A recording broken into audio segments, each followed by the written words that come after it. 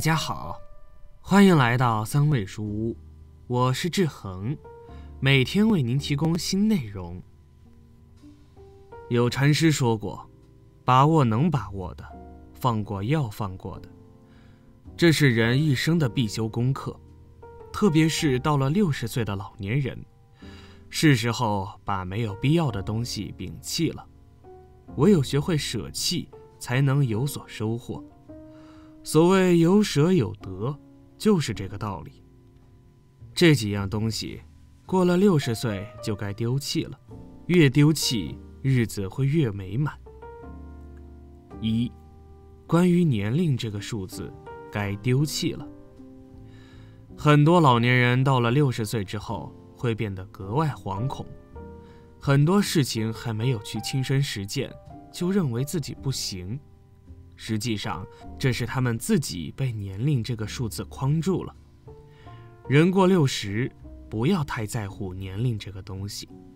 人老了，依然可以做自己想做的事情，它只是一个数字，而不是人生的枷锁。二，没必要的关系该丢弃了。现代人总是为了圈子而纠结，认为加入的圈子越多越好。身边的朋友越多越好，这所谓的朋友圈子真的有意义吗？有句话说得好：“朋友遍天下，知己有几人。”我们在江湖当中混了这么多年，结交了无数的朋友，可这当中又有多少人是真心对我们好的呢？也许这样一想，会变得少之又少。有些人甚至连真朋友都遇不到。有研究者认为，普通人身边百分之九十九的人脉都是没什么作用的，唯有身边仅剩下的百分之一的人，跟我们有着深厚的感情和长久的关系。就像之前认识的一个长辈，年轻的时候朋友一大堆，但是这几年他都跟那些不是真正为他好的人断绝了关系。只留下两三个真正为他好的朋友。临近退休，或者已经退休的中年人，没必要在乎所谓的感情和关系了。身边有真心朋友，那我们可以加以珍惜。可如果身边没有，那就算了吧。该舍弃的人要舍弃，该疏远的关系要疏离，远离冰冷且没有感情的圈子。我们的生活质量才会越来越高。三，不切实际的念头该丢弃了。每个人心中都会有不切实际的目标以及想法。人们对于生活总有一定的期待，只是期待越多，失望就越多。这些期待和追求基本上是不会实现的。儿女有自己的家庭要照顾。有自己的小孩要养活，又怎么能把心思完全放在父母的身上呢？比如上了年纪的老人，他们会希望自己的儿女能够全心全意照顾自己；再比如退休后的老人，他们则希望自己能够过上顺风顺水的生活；再比如贪婪的人，他们会希望自己能变得大富大贵。天上掉馅饼，顺风顺水的生活，那更是一种奢望。如果每个人都顺风顺水，那每个人岂不是都享福了吗？如此，又有谁来受苦？更何来人生的酸甜苦辣一说呢？在这里分享给大家一个亲戚家的故事。二伯今年六十三岁，总喜欢天天管事。时时刻刻把他的子女管得严严实实，子女做什么事都得向他父亲汇报。只要他的父亲对某一件事情不满意，就要好好说教他们。结果呢，他的子女都很反感二伯，时间长了都不想多跟他讲话。人老了，子女长大了，他们都有自己的想法，我们可以给他们提出意见，供他们参考。但是没必要处处束缚着他们，什么都要管，最后什么也管不了。你说是不是这个道理呢？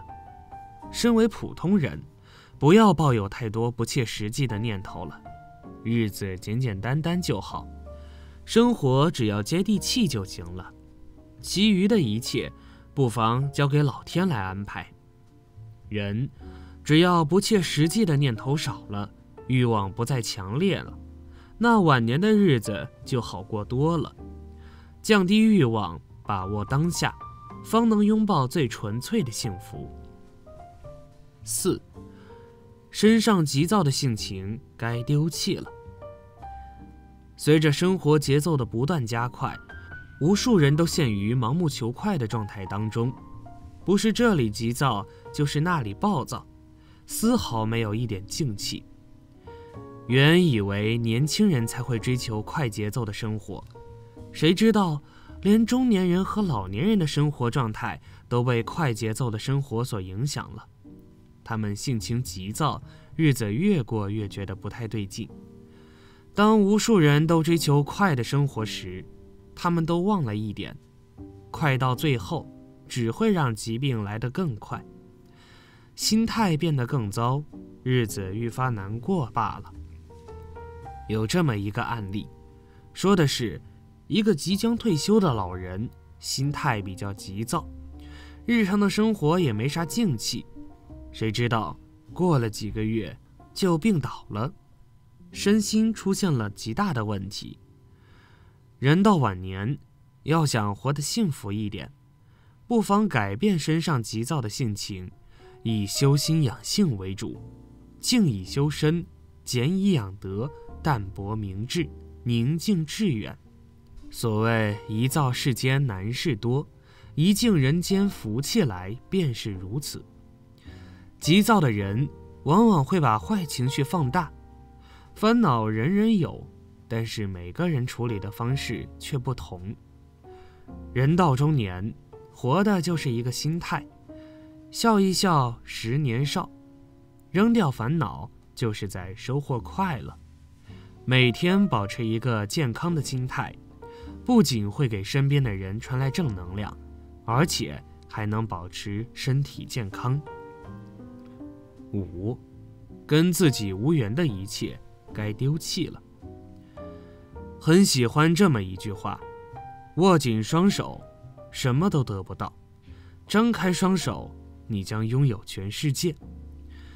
我们能把握的，一般都是跟我们有缘的人和事儿，比如。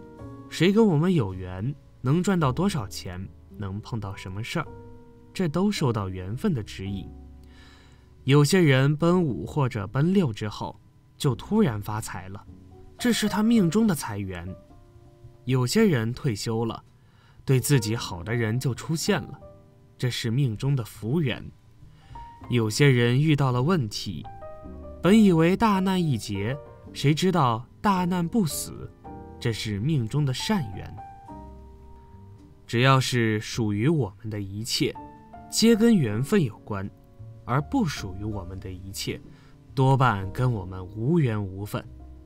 如此就该放下，逐渐舍弃了。中年之前，每个人都在做人生的加法；中年之后，每个人都在做人生的减法。相较于做加法，其实做减法的人生才是最为简单幸福的生活。与其过着繁琐到极致的艰难日子，不如独享简朴的小时光。只是很多中年人都不太喜欢做人生的减法，认为减法生活毫无意义。在他们眼中，无论到了多少岁，生活中的一切肯定是越多越好。这种多多益善的观念看似是正确的，可实际上却不完全正确。试想一下，疾病或者是祸患，难道也要多多益善吗？所以，一切不该过多，也不该过少，适可而止就好。真正高质量的生活，跟所谓的多无关，而跟恰好有关。比如欲望，不能膨胀。也不能没有，维持正常的欲望就可以了。再比如财富，不要过多，也不要丝毫没有，维持正常的生活就可以了。人到六十，做个随心随缘之人，珍惜当下所拥有的，舍弃原本不属于自己的，如此便好。好了，这篇文章到这里就结束了。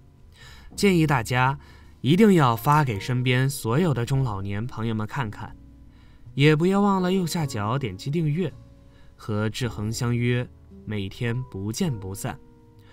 我们一起成长，一起幸福。